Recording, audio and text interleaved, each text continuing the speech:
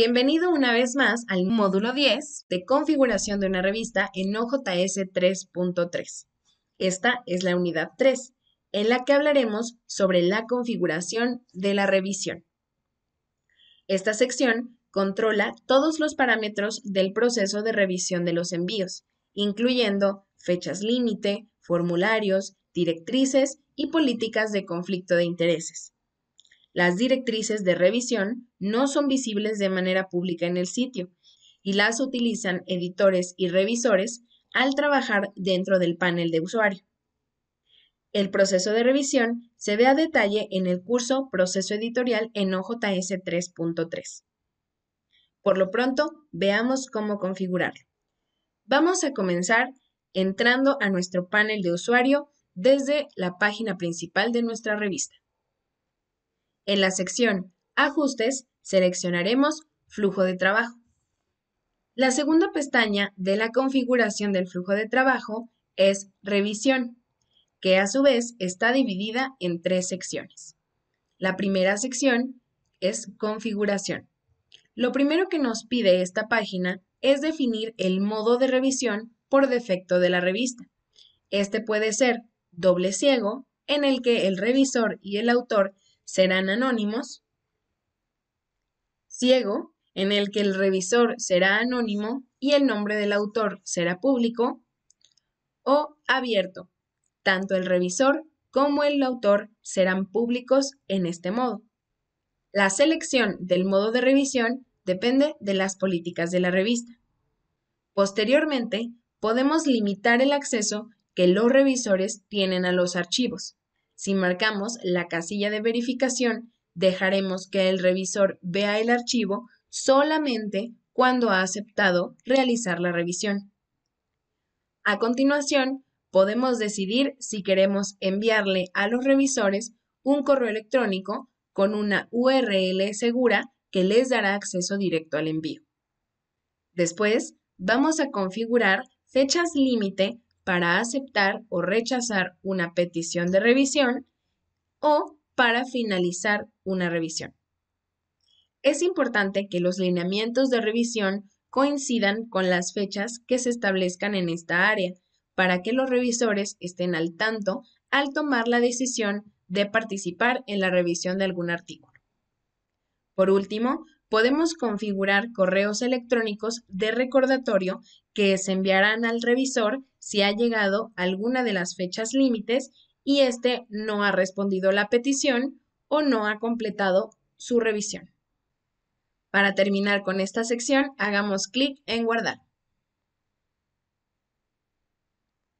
Pasemos ahora a la guía para revisores. En esta página hay dos editores de texto en los que el editor puede agregar las indicaciones para la revisión y las políticas de conflicto de intereses. En las indicaciones para revisión se pueden definir todos los lineamientos con los que la revista espera que los revisores cumplan. Aquí se hacen explícitos los criterios de evaluación para los trabajos y cualquier otra política que ayude a que los revisores completen la tarea satisfactoriamente como las fechas límite de aceptación y revisión. En conflicto de intereses, la revista puede comunicarle a los revisores su política de conflicto de intereses y el proceso a seguir en esos casos. La última sección de esta página nos permite habilitar la opción de agregar un enlace que mostrará a los revisores las instrucciones para asegurarse de haber anonimizado los archivos que estén cargando.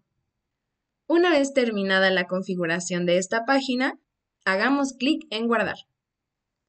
Ahora pasemos a los formularios de revisión.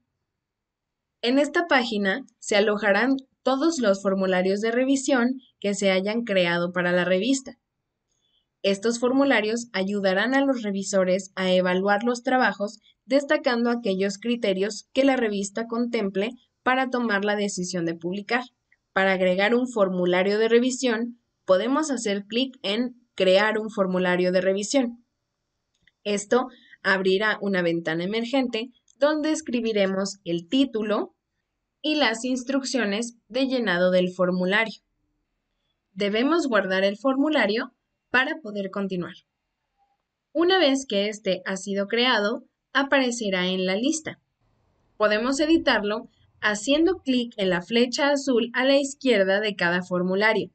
Esto desplegará los botones Editar, Copiar, Previsualizar o Eliminar. Si hacemos clic en Editar, se abrirá la ventana emergente en la que trabajamos al crear el formulario, pero ahora con dos nuevas pestañas. La segunda pestaña es Elementos del formulario, que se refiere a las preguntas o rubros que los revisores deberán llenar al evaluar un trabajo. Podemos crear nuevos elementos con el botón Crear un elemento nuevo.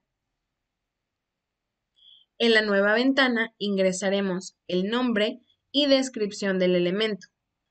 Posteriormente, podemos marcar este elemento como obligatorio seleccionando la casilla de verificación.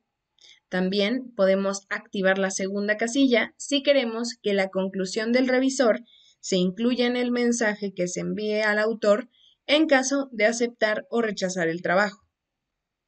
Por último, debemos definir qué tipo de elemento será esa pregunta. Hay una lista desplegable con todas las opciones posibles. Si la pregunta será de opción múltiple, podemos agregar opciones de respuesta con el botón Agregar ítem. Para este ejemplo, seleccionaremos una caja de texto extendido, donde el revisor podrá escribir todos sus comentarios.